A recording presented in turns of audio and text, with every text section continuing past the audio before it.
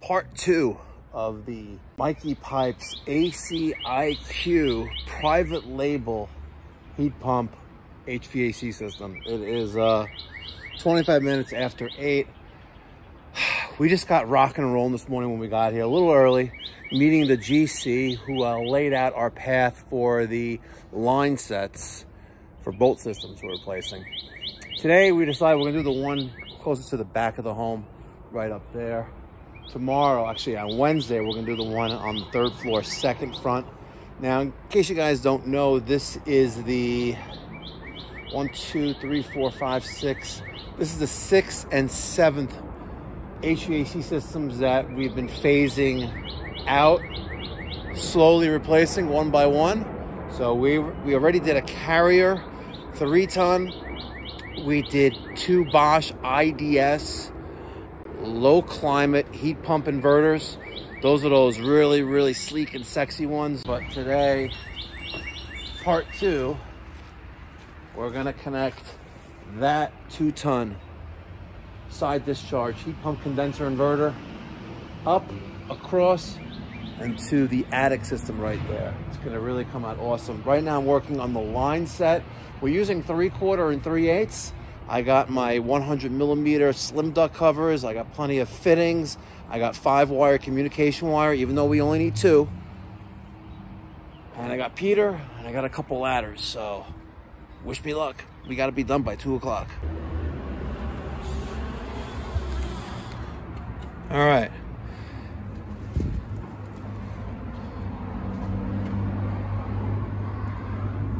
Not too shabby. How's it look? Okay. Pull it out a little bit, go over a little bit, and make that nice and parallel. Perfect.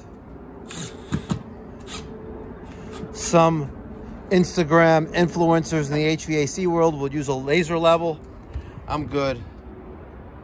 All right, so throw a few more screws in there. We'll put a bend here, bring this 3 eighths and 3 quarter down and then we'll connect to our outdoor side discharge inverter condensing unit. All right, we were contemplating using the adapters and pre-flared fittings or pipe that came with the unit. But I decided that we're going to make this work. Just like that. Maybe we'll get some uh, what do you call it? Flex seal. We just like shove that in there. All right. So we have three quarter and three eighths. My three eighths and three quarter go up across all that other good stuff. I'm gonna use the NAVAC flaring tool. That's gonna go right there. I've never actually used it on three quarter copper, ever. So hopefully this works. Here we go. So first time for everything. Oh, I almost forgot the nut. Oh, wow, I almost forgot the nut. Imagine. Okay, why don't you want to go on there? Come on, baby.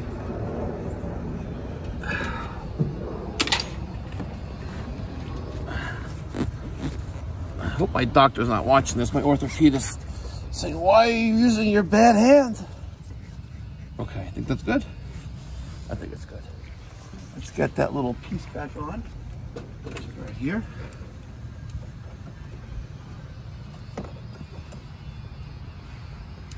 Right there. Okay. Now,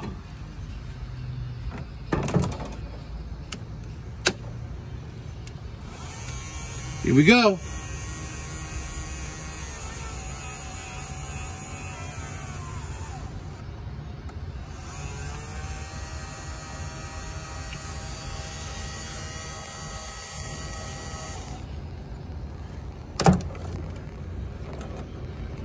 Wow.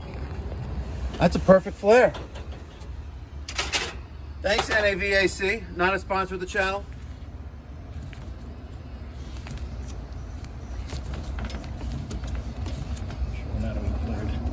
Huh? Make sure you're not overflowing. Nah, it's perfect every single time. Look at that. It's perfect. All right, 1030.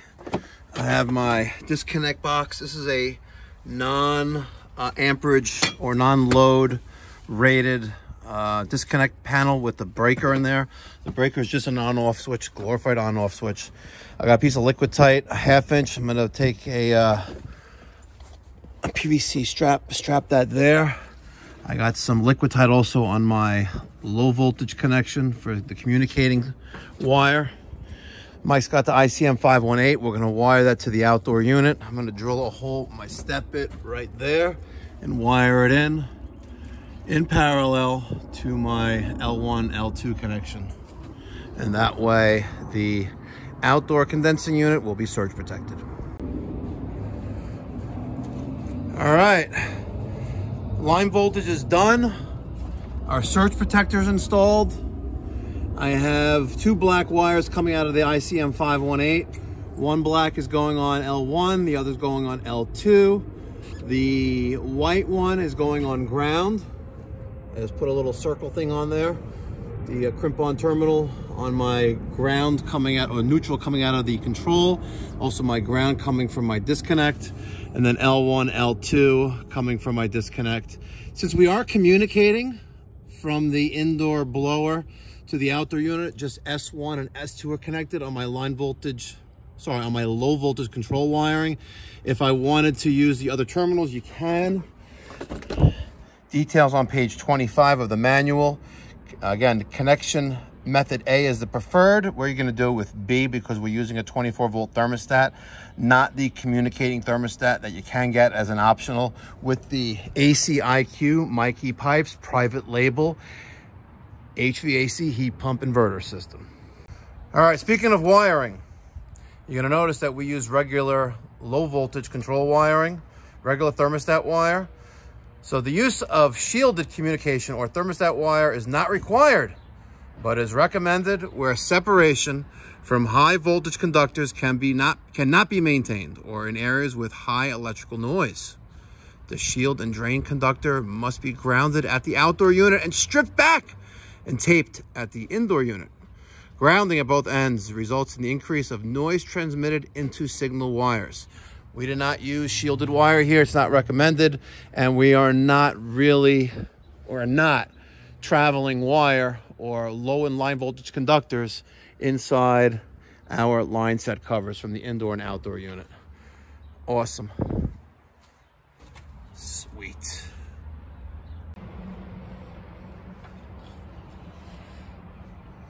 I decided to, to make, bleh, I decided to make the best use of some idle time. My objective today, being one of three on a team here doing the install, was to run the line set. And we accomplished that. And then I realized that we have to run the other line set on Wednesday. Might as well do it today. So I got some cocky on my face. So I ran another 3 eighths and 3 quarter inch line set through the existing 100 millimeter, down, across, down, and now here I am. Yeah, baby, we're using zoom lock on everything here. So I got a, uh, a T right there.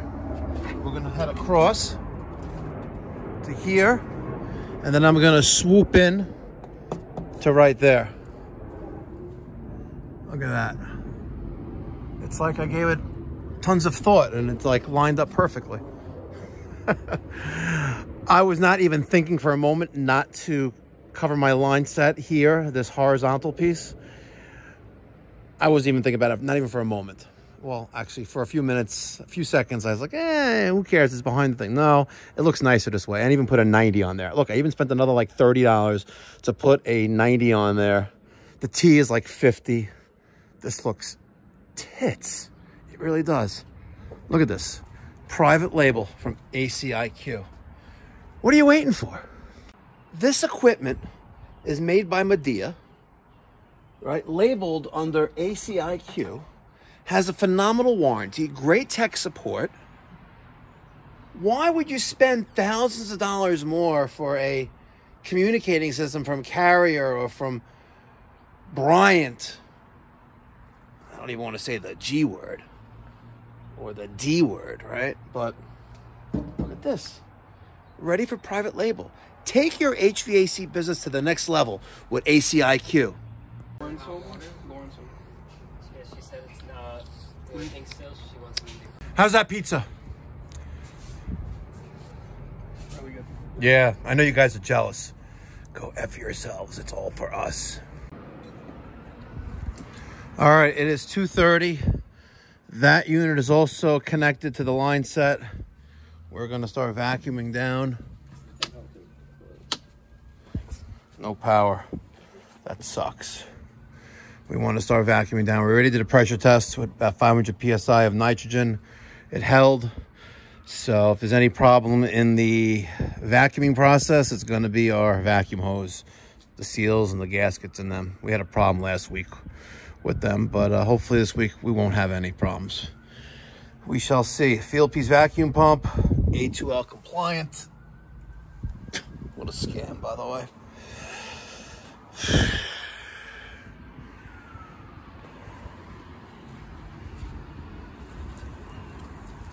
Daniel's trying to find power. He'll find power. You know, you don't even want to know how and where we plug this into. But I'll just blame it on Rocco.